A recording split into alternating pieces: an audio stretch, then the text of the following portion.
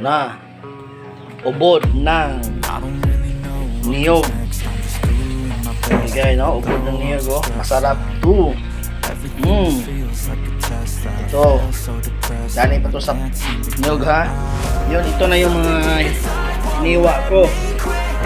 Ito hiwain ko pa itong iba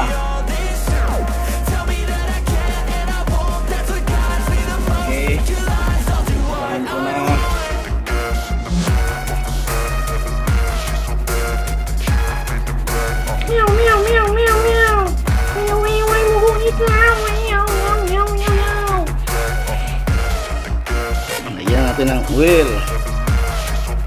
Oil ng sesame seed.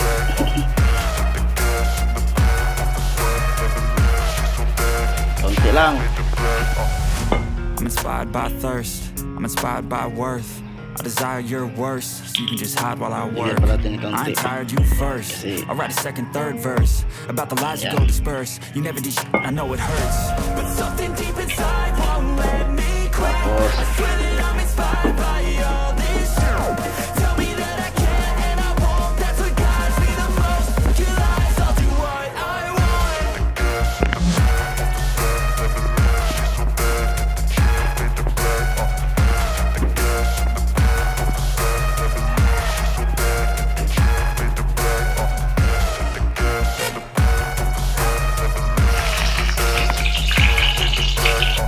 sunod na natin ang bombay, yung malaki yung pagka-slice. Malaki pagka-slice, ito yung mali na pagka-slice.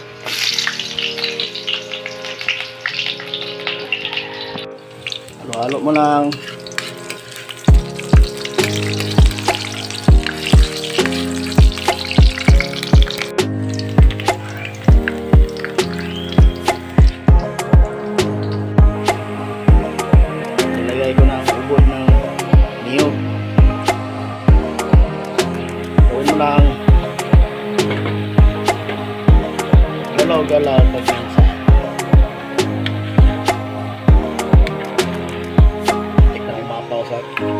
Kawali ko.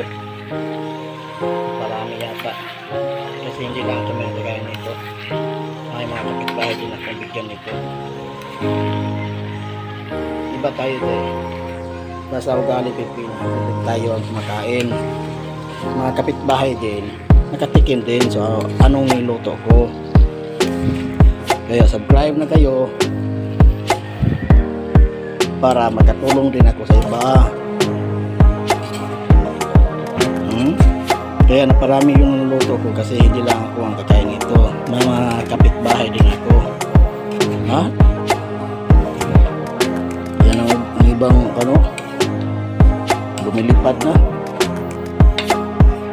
Tapos lagyan natin ng sardine pampapula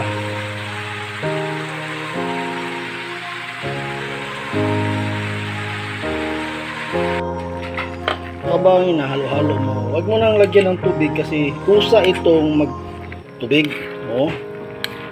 oh may sabaw na ako sa lalim mo. Hindi ko pa itong lagyan ng tubig ha? Dahil hindi naman talaga lalagyan kasi kusa ito labas ang tubig ng ubod ng niyog. Saka matamis-tamis na ito